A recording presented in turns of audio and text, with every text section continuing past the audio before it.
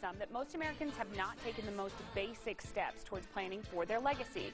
According to a recent survey by financial services firm Edward Jones, 77% of Americans believe that estate and legacy strategies are important for everyone, not just wealthy individuals. Yet only 24% of Americans are taking the most basic steps of designating beneficiaries for all of their accounts. Today, Allison Carney joins us on behalf of Edward Jones with some important reminders on what we should be doing. All right, so what does a recent survey reveal about those American attitudes toward estate planning?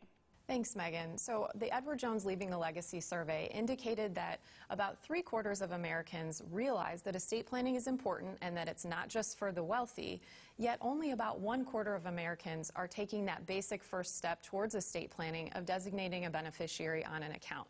What this tells us is there's a huge gap, a huge disconnect between what people know is important, but what, what they're actually doing about it. It's, it's not much. There's a lot of procrastination and a lot of avoidance on this topic.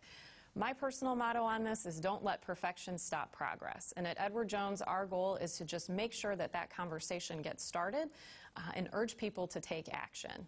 There are simple ways to get started. Okay, give us some basic steps then that Americans can take to plan for their legacies. So there are a few basic steps to take. The first is to visit with a financial advisor.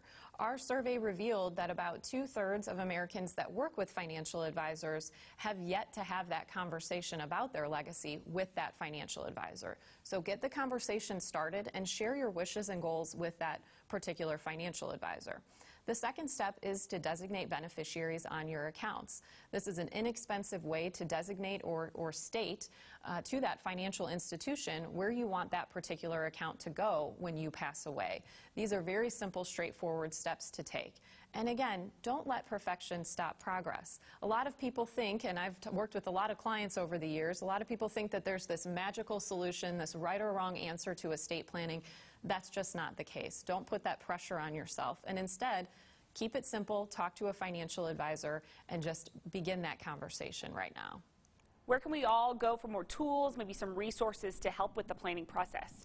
So we, we recommend talking to your financial advisor if you have one, but if not, visit us at edwardjones.com slash legacy for information about key terms and concepts and to learn more about estate planning in general. All right, thanks for being with us today.